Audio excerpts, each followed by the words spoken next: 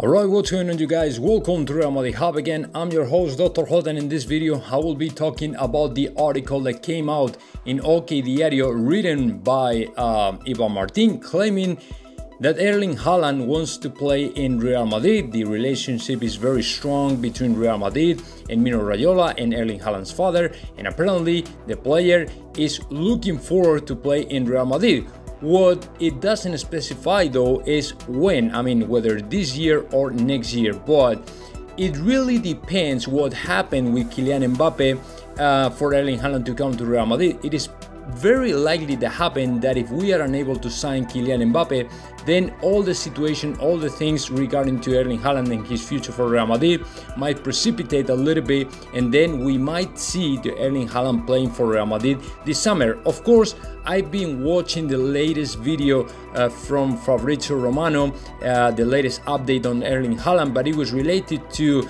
um, the Chelsea chances for uh, for them to sign uh, Erling Haaland, but apparently there's no official bid for the Norwegian players. So, from my understanding, right now Real Madrid is closer than Chelsea for the signing in the race for Erling Haaland. But like I said, it is not clear if that is going to be this year or maybe the next year. I mean, nobody really knows what is going to happen. But in my opinion, if Real Madrid uh, tries to sign Erling Haaland, they will have to pay a lot of money. I'm talking about 175 million euros, which is of course a, a, lot of money and if you consider that next year Erling Haaland might cost about 75 million then I think it's worth it to wait for the next year but nobody knows and according to Ivan Martin all the situation can precipitate much you know more than expected and then we might see the Erling Haaland arriving to Real Madrid but it's not for sure. So let's see what happens.